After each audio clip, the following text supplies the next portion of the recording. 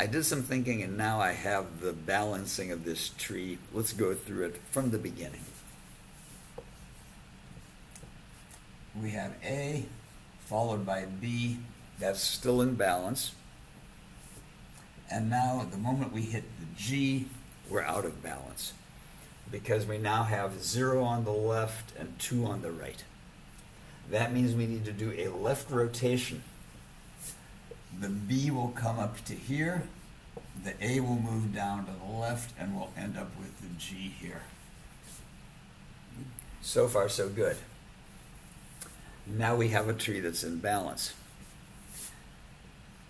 When we add L, we're still in balance. Again, the difference in height is at most 1. But when we hit an M, then all of a sudden everything goes bad because now we have a balance factor of negative 2. 0 on the right, 0 on the left, excuse me, 2 on the right.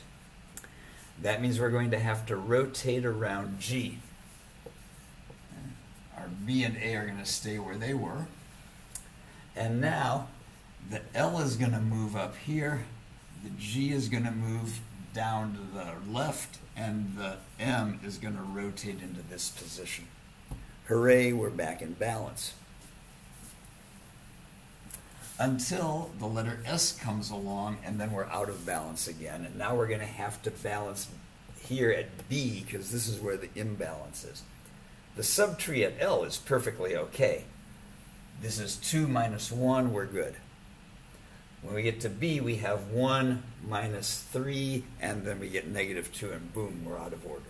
So we have to rotate around B.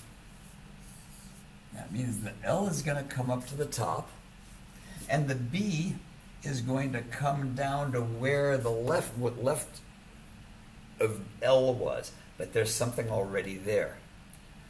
That means what we're going to do is we're going to copy the tree with B and A into there where G used to be. Where's the G going to go? The G is going to become the right child of this new node here.